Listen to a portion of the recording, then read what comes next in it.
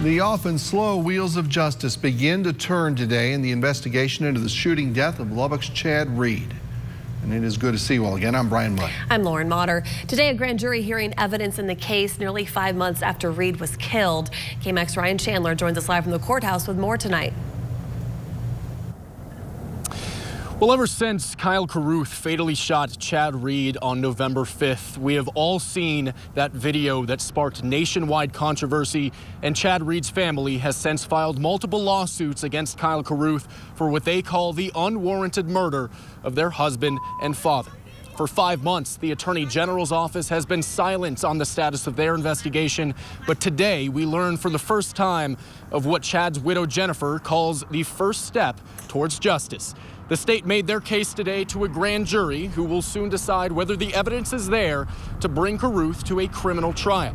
Now, this is a very sensitive process. No information regarding the grand jury proceedings will be released to the public. There will be no reporters or cameras allowed inside those closed doors, and we will not know the full extent of who testifies or what they testify about. We do know that Jennifer Read was here at the courthouse today delivering her testimony to the jurors, and her family tells us they do not expect a decision today. It may be as much as two weeks before the jury hands down a decision on whether to indict Kyle Carruth. That's very unusual for Lubbock grand jury hearings. They often hear many separate cases per day. The nature of this case is, of course, very different. The Read family says they're only hearing this case for the entirety of that time frame.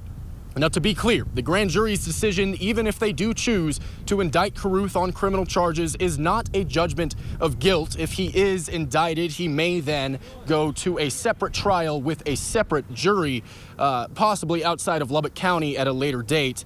Now, on the civil side of things, we've also spoken to both of the Read family's civil attorneys, Tony Buzbee and Matthew Harris. They tell us they also do not have uh, many updates on the status of the civil proceedings.